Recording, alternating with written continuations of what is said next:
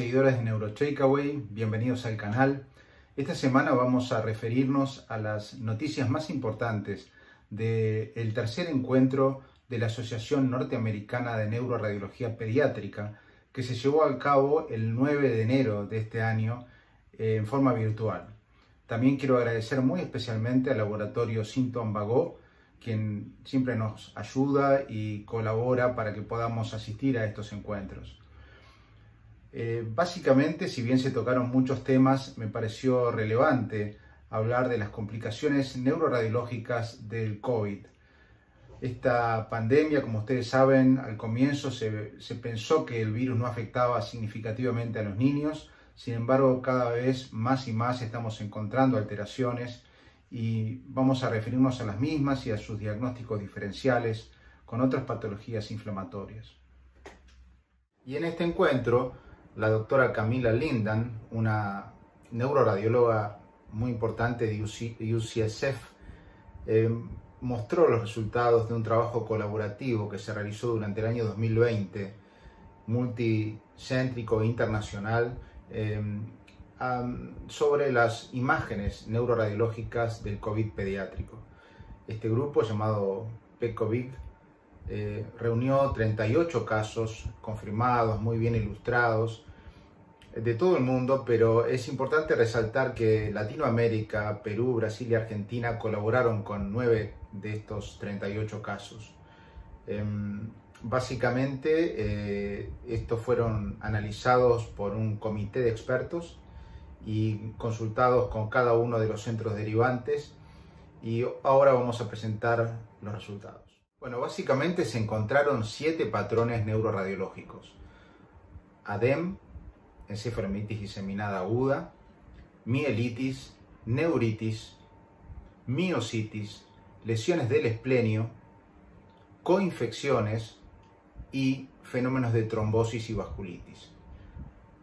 Es importante resaltar que la mitad de los pacientes tenían más de un patrón y casi tres cuartos de ellos eran fenómenos parainfecciosos, o sea, no producidos por el virus, sino por un mecanismo inmunológico desencadenado por el mismo. El primer patrón, que fue el más frecuente y correspondió prácticamente al 40% de los casos, fue el patrón ADEM-like. Ustedes ya lo conocen, son lesiones subcorticales, juxtacorticales, eh, que tienen límites mal definidos, son grandes, son hiperintensas en T2 y en FLAIR, y en algunos casos, como podemos ver en el paciente de la derecha, pueden restringir en difusión. También es común el compromiso de los tálamos ópticos en este patrón. Tenemos estas otras imágenes también eh, obtenidas con un patrón similar, eh, tipo ADEM, pero con lesiones tumefactivas o con lesiones de los tractos córtico-espinales o el tracto óptico, compromiso de los núcleos basales, como pueden ver en el caso de abajo y a la derecha, con restricción de los tálamos ópticos, y también a veces refuerzo con el contraste, incluso de manera muy sutil. De todos los estudios de anticuerpos que se hicieron, se encontraron solamente dos casos positivos, uno con anticuerpos anti-MOG y otro con anticuerpos anti-NMDA. Es evidente que el virus COVID desencadena una respuesta inmune con distintos epitopes, la mayoría de los cuales todavía no conocemos. Otro patrón fue el de las mielitis. Este correspondió aproximadamente al 20% de los casos.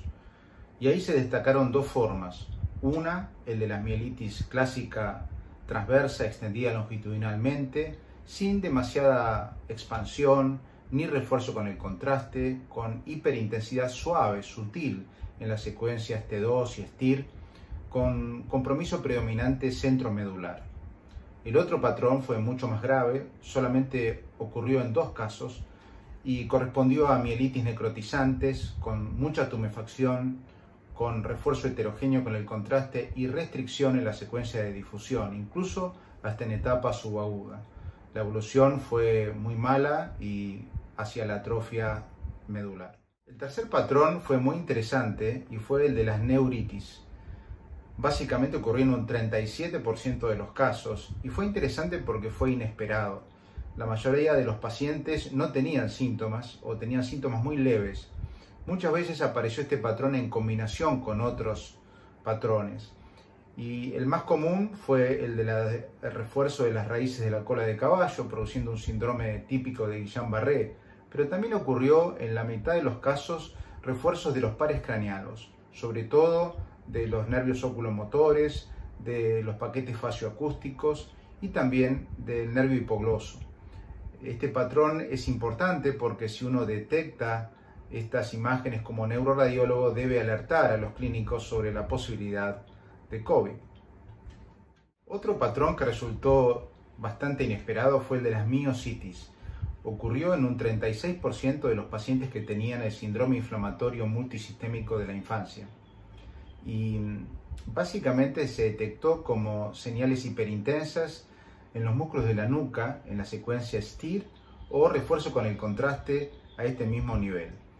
Y es importante porque si uno encuentra estas alteraciones puede sugerir la posibilidad de infección por el virus COVID. Otro patrón que resultó muy interesante, pero era más predecible porque se había descrito en adultos, fue el de las lesiones del esplenio del cuerpo calloso. Estas eran lesiones o señales hiperintensas en T2 y FLAIR que restringen en difusión y aparecen a nivel del esplenio en forma central con extensión más corta o más larga hacia el forceps mayor. Dos características. No estaban relacionadas con epilepsia o con crisis convulsivas y en la mayoría de los casos fueron reversibles y transitorias. Se presentaron básicamente en niños con síndrome multisistémico inflamatorio y eh, el mecanismo no es claro, pero se cree que es edema intramielínico secundario a injuria excitotóxica por glutamato mediada por citoquinas. Otra forma relativamente inesperada fue la de las infecciones o coinfecciones fulminantes.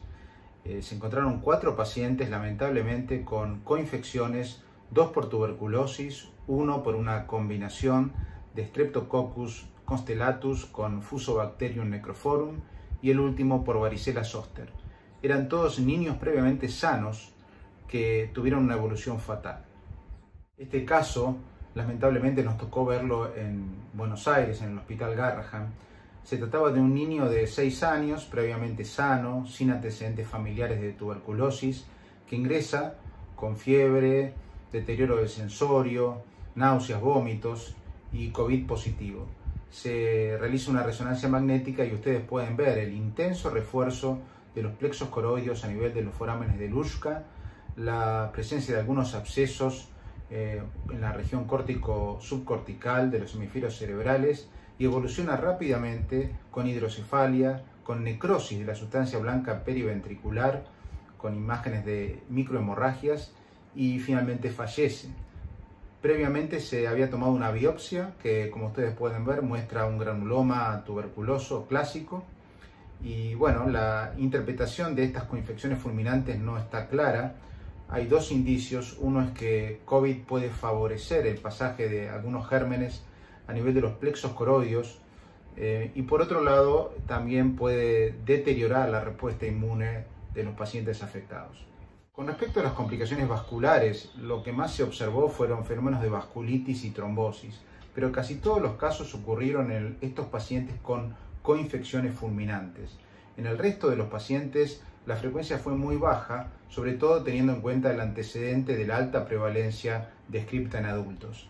Aquí tenemos tres ejemplos. A la izquierda un paciente con múltiples señales hipointensas en susceptibilidad magnética, que fueron reversibles y por lo tanto se sospecha que correspondieron a microtrombos en el contexto de síndromes multisistémicos inflamatorios.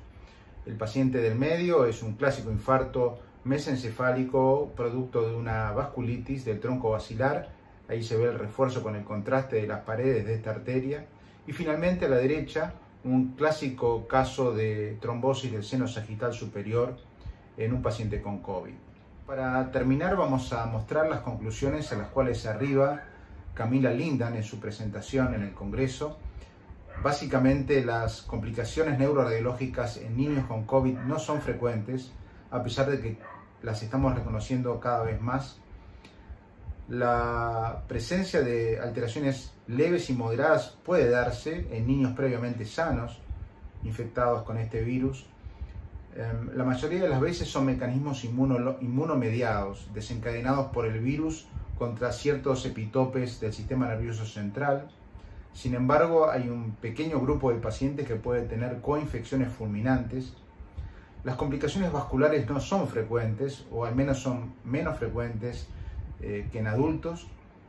Existe la posibilidad en el contexto de un síndrome multisistémico inflamatorio de presentar lesiones del esplenio y miocitis.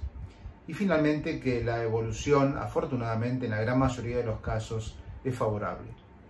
Bueno, espero que les haya gustado esta presentación y nos vemos la semana que viene. Chao.